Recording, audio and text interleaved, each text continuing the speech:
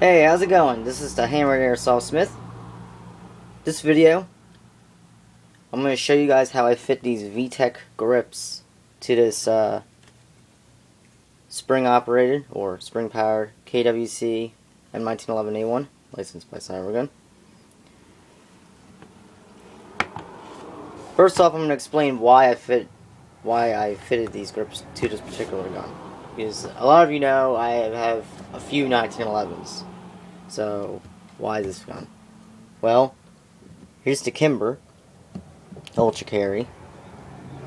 Now, the frame is an early version WE. Not that it really matters what version WE frame, but just being uh, nerdy. But yeah.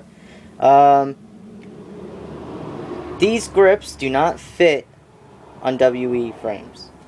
Just that simple.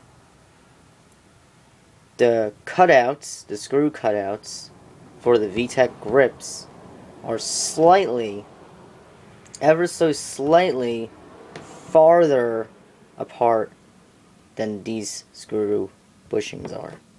And I'll show you that real, real quick right here. And here's something funny. Okay, now the stock grips that were fitted to this pistol fit to WE frames just about perfectly. And uh, vice versa. But these grips fit onto this pistol way better than they fit on here. Like on this pistol obviously they had a chance. WE not so much and I'll show you why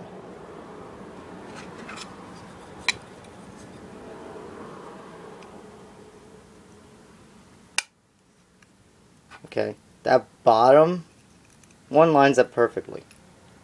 Perfectly. The top one, on the other hand, that's off. Barely. It's barely off. So, put these ones on here. They're like dead perfect. The bottom one is slightly off, but not enough for it to not work. Another reason why I fitted these grips to this pistol is, um, you know, they were given to me and I didn't want them to go to waste. Because naturally you would want to put these grips on, like this Kimber or my other Colt M1911A1 the gas blowback version one. Um, but, you know, I just didn't want them going to waste, and I figured the best chance I would have was for them to fit on here. Plus, I already got the black grips I wanted to fit on this gun, and uh, the other 1911, I have uh, two pairs of grips that I fit on it, the, the Colt pony ones and uh, the standard A1 checkered ones. Anyways, so this is what I did.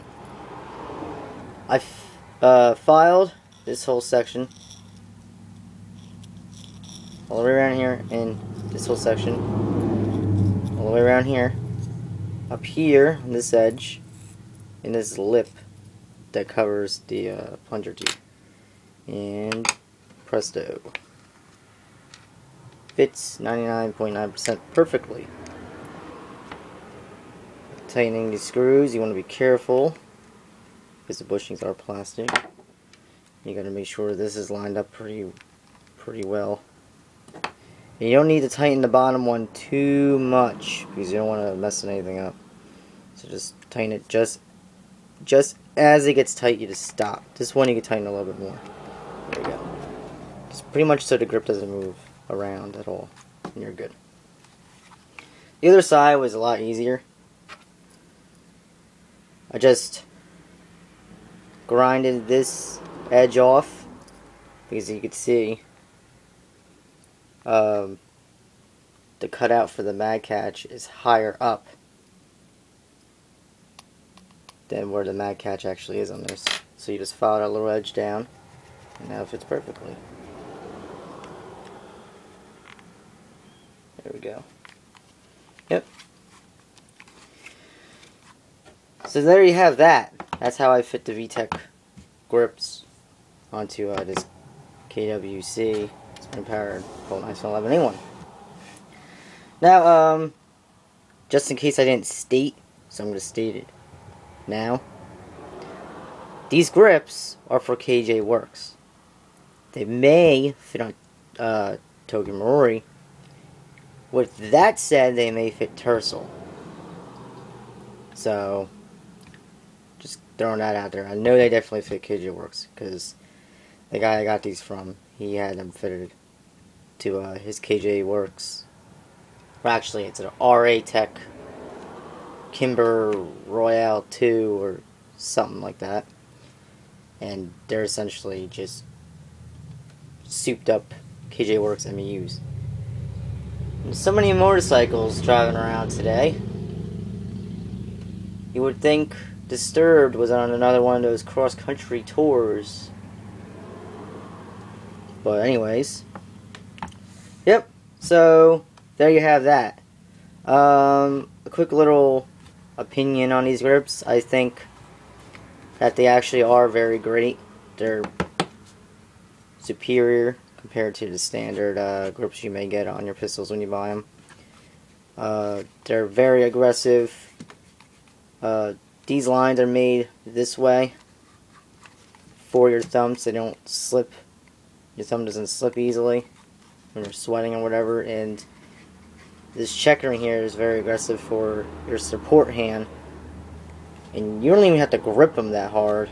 And you get the checkering indents on your palms. Very, very good grips. I highly recommend them. Unfortunately, I don't know how much they go for, what model they are. But I'm sure you guys can find them. Or, you're going to stop over at Non-Existent and ask him. Yeah, uh, so there you have that. Alright guys, thanks a lot for watching. I hope this video was somewhat educational. Alright, have a good day.